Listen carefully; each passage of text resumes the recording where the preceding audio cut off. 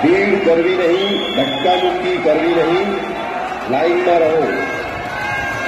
તમારા પાકીટ તથા મોબાઈલનું ધ્યાન રાખો પોલીસ તથા સિક્યુરિટી સ્ટાફને ચેકિંગ દરમિયાન સહકાર આપશો કિસ્સા કાતરુથી સાવધાન તમારા કિંમતી સામાનનું